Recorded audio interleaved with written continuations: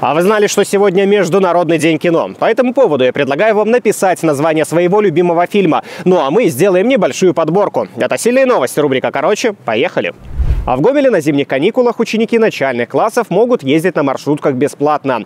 Но есть одно условие. При себе у них должен быть фликер, который они должны показать водителю. Такую акцию организовала госавтоинспекция вместе с Гомель Обл Пассажир Трансом. Акция продлится до 9 января и распространяется она только для школьников начальных классов. Чтобы вычислить кибермошенников, речищанину предложили взять кредит на 6 тысяч рублей. Как думаете, он согласился? Конечно, согласился. За несколько дней оформил все необходимые бумаги, получил кредит. Разумеется, деньги исчезли, как и сами организаторы этой спецоперации. Вы только вдумайтесь, только с начала года в Реческом районе зафиксировано 138 случаев хищения денег с карточек. Как правило, преступники используют абсолютно стандартные схемы, но люди продолжают вестись.